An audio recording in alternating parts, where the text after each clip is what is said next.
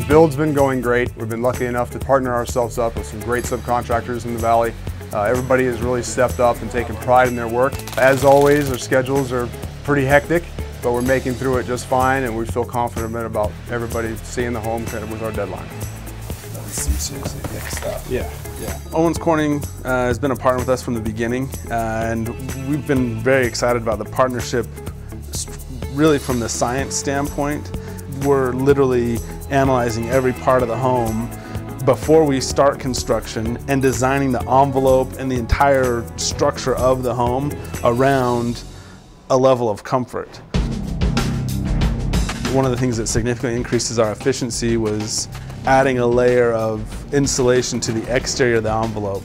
By doing that, you're adding a, a layer of insulation prior to the wall cavity, which from an efficiency standpoint and a, from a performance standpoint significantly improves the overall R value of the home.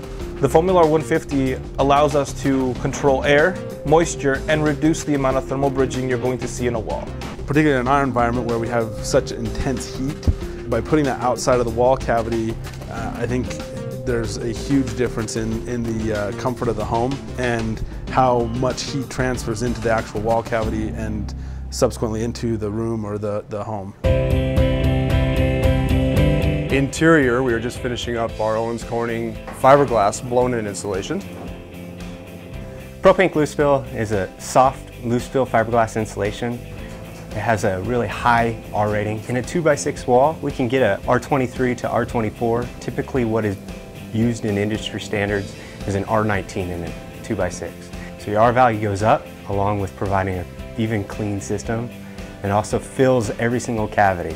So it's continuous from top to bottom, gets around all your plumbing, your electrical, you're not splitting batts, it's really just clean system.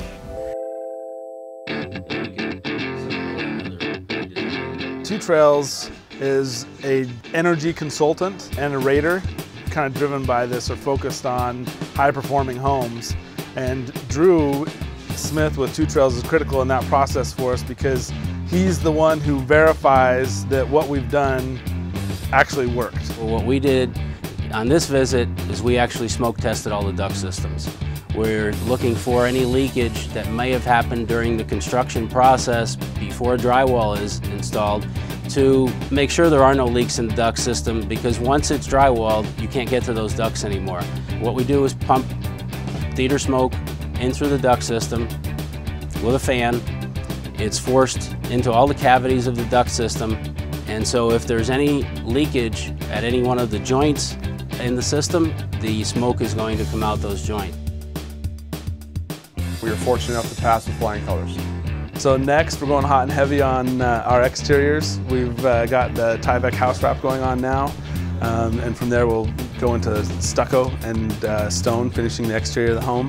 Uh, we've got our retaining walls going in on the exterior. Once those are complete, we'll backfill, start the pool, and, uh, and then from there do landscape.